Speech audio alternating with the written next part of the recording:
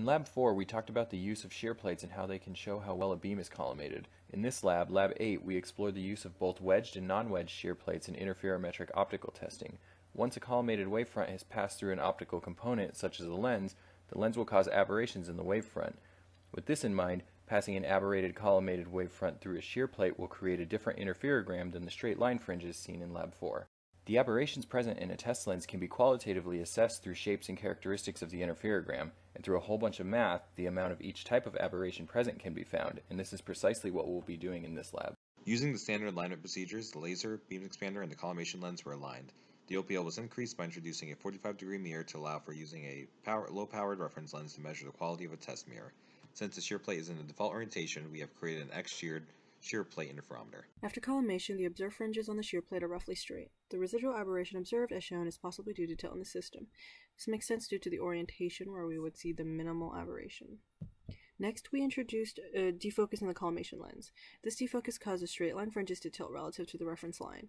The reason for why we have a tilt when introducing defocus is from the change in the OPD of the wavefront. This introduces a wavefront traveling in the opposite direction, and when summed, they result in a tilted fringe pattern. This is the same result for all decenterings of the wedged plate. When the lens is decentered, in any of the experiments done, the position of the beam was the largest difference. The fringes just cycled through, but it didn't change the shape of the fringes. This was tested in both axes.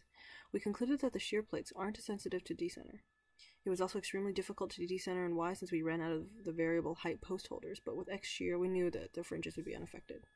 For the next portion of the lab, the collimation lens was turned around 180 degrees, oriented for maximum spherical aberration. When at the optimal position, the observed fringe was shaped as an S. When introducing defocus, the result is the same as when we were in the ideal orientation, and this caused the S shape to tilt about the reference line as shown on screen. When decentering the collimation lens, this caused the S shape to translate respect to the reference line. When both defocus and center were present, the result was a combination of two movements, and the fringes would straighten, more would appear, the fringe spacing would narrow, and the beam itself would translate along the shear. For part G, we introduced a curved mirror with an unknown focal length as well as a 1 meter focal length good quality reference lens. The reference lens was placed directly after the shear plate, which has been rotated 180 degrees to allow testing of a mirror. The ideal location for the system is when the fringes appear to be parallel to the reference line and does not have any curvature. This means there is no tilt or defocus in the system.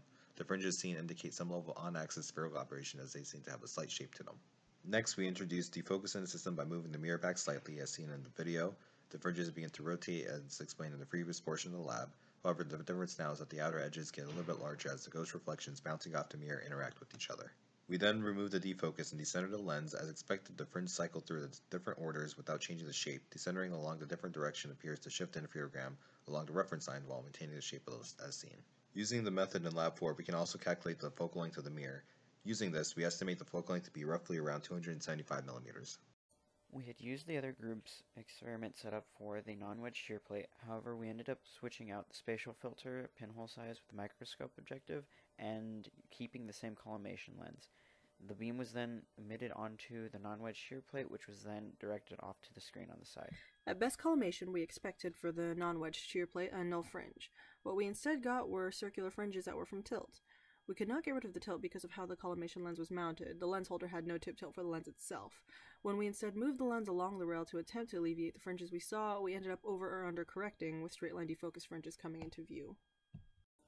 When the collimation lens was defocused, we saw what we were expecting, which were the straight line fringes in the center of the spot and the spherical aberration on the sides of the, of the spot. Whenever we moved the spot in or out, we would see a change in the fringes, uh, so they would increase or decrease depending on which way we were adding defocus. When the collimation lens was decentered, the fringes moved accordingly with the decenter of the lens.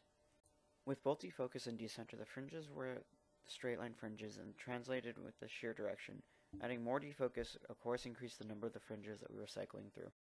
The best focus with the non-wedge shear plate proved to be extremely difficult. We should have seen a single null fringe at the best focus, but as seen here, that's not what we saw. This was likely due to tilt in our system that we were unable to. When we oriented the collimating lens for most aberration and defocused it, we saw straight line fringes as we expected.